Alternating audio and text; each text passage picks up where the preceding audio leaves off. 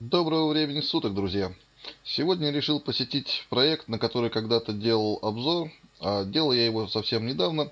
Называется этот проект DeadNet. Э, в своем обзоре я отзывался об этом проекте достаточно хорошо. Мне казалось, что э, проект заслуживает внимания и у него есть какие-то перспективы. Ну и вот прошло какое-то время, проект вышел в свет, он вышел из э, стадии тестирования, и, в общем-то, он вполне играбельный, и у него есть свой онлайн. Есть свои игроки. Ну и давайте посмотрим вместе, что изменилось на этом проекте, что стало лучше, что стало хуже. Ну, а я же первым делом поехал на вокзал, так как еще на момент обзора этого проекта мне удалось прокачать какие-то уровни в общем-то, про которые, кстати говоря, на этом проекте обещали, что их не будет. Но нет, они есть, и их надо прокачивать. Ну, в общем-то, в описании говорилось, что не будет линейности в структурах. Наверное, гражданские не относятся к этим структурам, потому что уровни есть. Ну и вот я на обзоре прокачался до вот такого вот автобуса. Это не самая последняя работа э, на автобусе. Есть еще один пункт. Это междугородний автобус. Поэтому начнем пока с этого, прокачаем и будем смотреть, что там дальше. Пока я заметил первый косяк, это когда ставишь метку вот этого автовокзала, она ставится на эстакаде, то есть где-то метрах в 50 выше. И постоянно люди приезжают э, по этой метке не туда. Как она была на обзоре криво сделана, так она до сих пор там и стоит.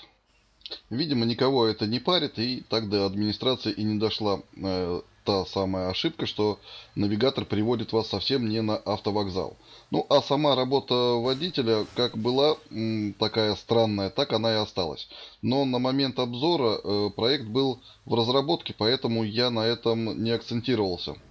Ну а что же мне показалось, мягко говоря, странным? Да странным показалось то, что какой бы скорость не развил автобус, а о скорости мы поговорим чуть позже, на остановке он встанет так, как вкопанный, как будто вы в стенку врезались. Он остановится моментально. Второе, это постоянно надо вписывать себе маршрут. Проезжаете две остановки, маршрут скидывается. Надо идти в меню, нажимаете букву М, там выбираете транспорт, в транспорте выбираете рейс, нажимаете рейс, рейс продолжается. И так каждые две остановки. Зачем так сделано, я не знаю. Ну, а вот сейчас на ваших экранах как раз та самая остановка. И несмотря на то, что я еду с приличной скоростью, сейчас автобус моментально встанет. Раз, и он встал. Он останавливается сам. Вы как будто в стену врезаетесь. Ну и стоите 10 э, секунд, ждете. По истечению 10 секунд, естественно, сразу же навигатор прокладывает вам маршрут дальше, к следующей остановке. И вот следующая остановка будет как бы конечная. Все, дальше, как я уже сказал, надо лезть в меню и по самому себе прописывать дальнейший маршрут. Ну и вот как раз я сейчас подъезжаю к такой вот остановке, которая с какого-то хрена является сразу же и конечной. Кстати говоря, на этой же остановке спустя 10 секунд вы и получаете свои очки за то, что вы проехали вот это расстояние. Вот сейчас выскочила табличка. И деньги за вот этот вот короткий непонятный рейс. Дальше вот вы можете сейчас заметить, я остановился, потому что не понимаю, куда мне дальше ехать. Ну и дальше уже идет взаимодействие с этой табличкой. Ищем пункт э, транспорт, нажимаем его. Э, срабатывает табличка на самом деле не очень хорошо, не с первого раза. Есть какие-то задержки по таймингу. И вот теперь проложился маршрут. Не знаю, кому пришло в голову вот такое вот решение и зачем оно. И этим вам придется заниматься очень и очень часто. Остановки достаточно быстро заканчиваются.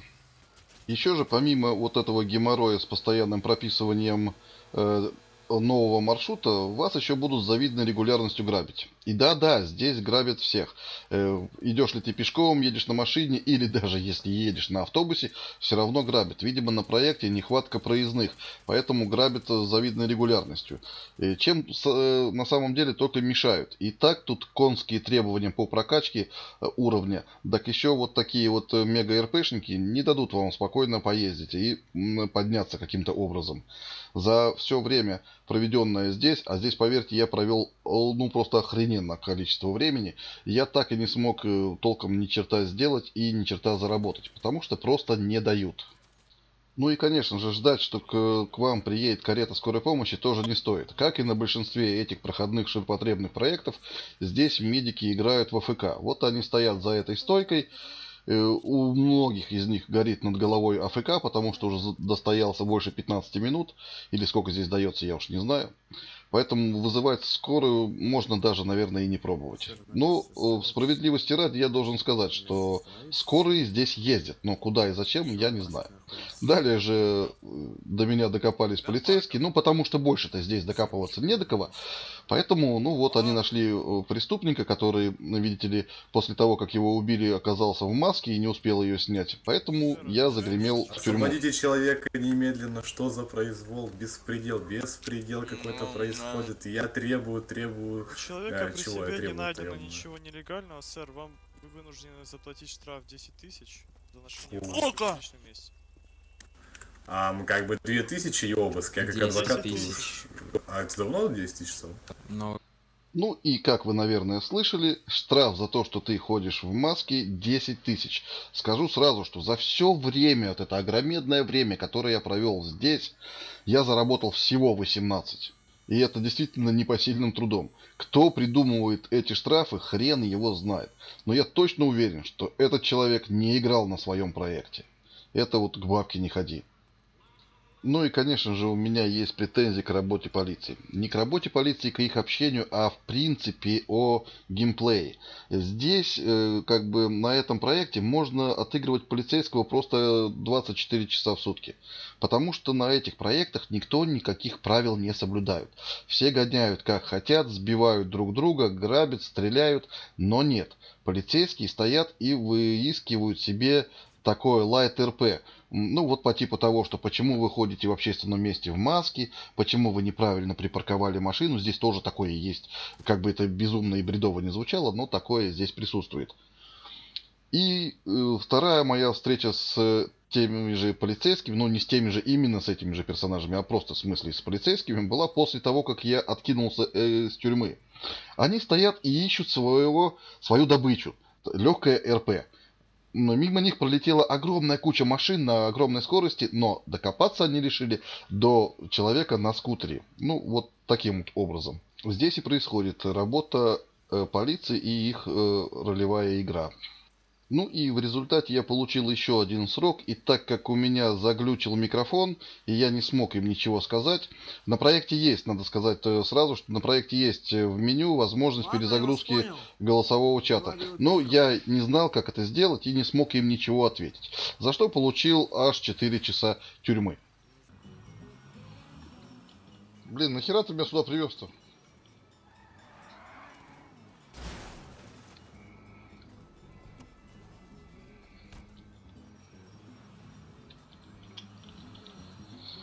Отвези лучше меня к мэрии, а? Гонщик.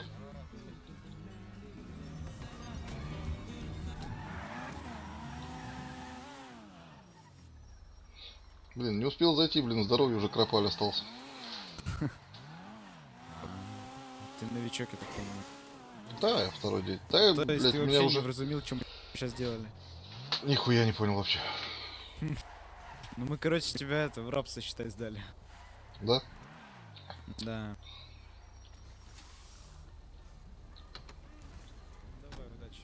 Давай. Ну и вот, друзья, такая история произошла со мной, как только я откинулся из тюрьмы. Как вы, наверное, уже поняли, меня сбили, потом, пока я лежал, меня подобрали и хотели сдать как пустую тару в какое-то рабство. Вот такая вот херобора здесь происходит. Совсем не похожая на то, что обещали на этом проекте. Ну а я же далее, так как у меня уже здоровье совсем осталось крошка, пошел в медпункт. И как же меня удивила игра за медика. Посмотрите на нее. Человек за стойкой регистрации часами стоит без движения. Он вообще ничего не делает. Знаете, вот э, есть такая игра Евротрак Симулятор. Я не могу в нее играть по той простой причине, что там все управление, это вы жмете кнопку W, чтобы грузовик ехал прямо. Вот и все. Это единственная игра, э, в которой я, играя, уснул. Так вот, я не могу понять, как же интересно играть вот этому человеку. Ведь он часами смотрит одну и ту же картинку. Иногда делая вот такие вот движения, чтобы не встать э, в АФК. Встаньте на его место. Вот э, с той стороны экрана сидит же живой человек. И он часами смотрит одну и ту же картинку. Это опупеть можно. Неужели в это действительно интересно играть? Э, обращаются к нему, ну, я бы сказал, крайне редко. Да, приходит, покупает какую-то таблетку от головы, он начинает произносить какие-то дурацкие фразы, я достал из сумки таблетку, дал человеку, и все, это вся игра. Это обалдеть можно. ETS по сравнению с его игрой это экшен с боевыми действиями. Ну, наверное, каждому свое. Я не знаю, если человеку интересно вот так вот часами стоять, ну, наверное, это его выбор. Ну, а я же дальше решил попробовать прокачать все-таки эти конские требования по следующему уровню и дойти до следующей работы. Ну, забегая вперед, скажу, ни черта у меня не получилось. Но зато, видите, на этом проекте есть динамичная смена погоды. Только что был туман, дальше будет и снег, и еще что-то. Сейчас дождь и гроза. Э, но если на первом видео мне казалось это интересная фишка, то уже вот в той атмосфере, в которой я сейчас побывал, э, нахватался уже это дерьма от э, мега-РПшников, то мне уже кажется, что вот эта вот э, смена дня и ночи, э, она, кстати, здесь не привязана к суткам, она здесь тоже динамичная, э, меняется день-ночь, э, меняется погода, но мне кажется, что все это только напрягает сервер, и от этого здесь э, есть какая-то нестабильность. Меня 6 раз выкидывало, да и FPS на этом проекте тоже не самый лучший. Я даже для проверки зашел на Red Edge, так как там у меня все было стабильно, и проверил. Заодно и протестировал микрофон. На Red Edge все работает, здесь работает, ну, через раз. Ну и я решил продолжить дальше фармить. Ну, как я и говорил, фармить здесь вам не дадут. Опять налетели мега-РПшники, ну и вот вы сами видите, что здесь происходит. Здесь, как я и сказал, грабят все. Ходишь пешком, ездишь на автобусе, им вообще насрать. Вылез из машины.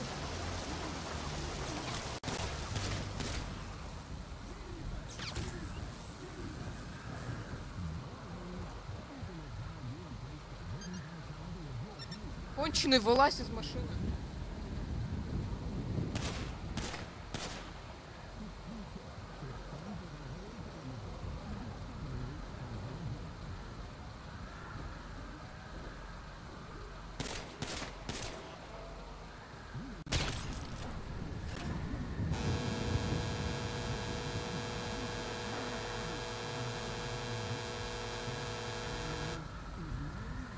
Все, клоун, отдыхай, мы поехали. Слышали, наверное, фразу «Ну все, клоун, отдыхай, мы поехали». Это сейчас в тренде на этих проектах. При любом ограблении, ну, наверное, каждое пятое ограбление вы услышите эту фразу. Это у них тренд. Ну и вот опять мы видим работу медика. Но этот, видимо, уже с ума сходит от того, сколько он стоит на месте, поэтому начинает бегать туда-сюда. Ну, а что касаемо РП, которую мы видели с ограблением, как я и сказал, здесь грабит все, что шевелится, им вообще по барабану. Здесь нет никакого РП, поэтому, ну, а чего еще ожидать от этих проектов? Чего здесь еще ожидать? Кстати, пока я добирался до города, меня еще два раза пытались ограбить и были посланы. Я уже, уж извините меня, не играю РП на этих проектах. Я просто всех посылаю туда, в общем-то, откуда их когда-то э, мама родила. Э, поэтому, ну, можете обвинять меня в нон-РП. Кстати, здесь в этом обвиняют, обвиняют, вернее, очень часто. Но вот, как и вот этого вот персонажа, я просто начал уже просто посылать. Идите вы со своим РП. Э, не хочется сейчас на видео произносить. Но некоторые понимают. И вот как этот человек, например, видимо, уже по интонации понял, что ну, здесь не будет РП и ловить здесь нечего. И просто уехал.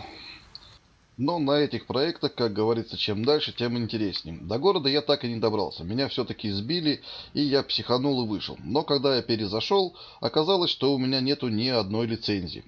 Лицензии на этом проекте даются на время. Там написано 12 месяцев. Чему равны эти 12 месяцев, я хрен его знает. Но я так понимаю, что раз в день вам надо их пополнять. Ну, спорное решение. Я не знаю, какой фантазией надо обладать, чтобы вот такую механику сюда внедрить. Но тем не менее, у меня нет ни одной лицензии, мопед мне не взять, машину мне не купить, мне ничего не сделать. Ездят ли автобусы или не ездят, на этих проектах абсолютно непонятно. Стоять на остановке ты можешь часами. Приедет автобус или не приедет. Даже если он есть, его сейчас по дороге кто-нибудь ограбит. Ну, шизофрения здесь продолжается. В общем, мне не оставалось ничего, как брать велосипед из другого конца карты пилить в мэрию на велосипеде, блин. И я, если честно, даже не знаю, есть ли на этом проекте такси.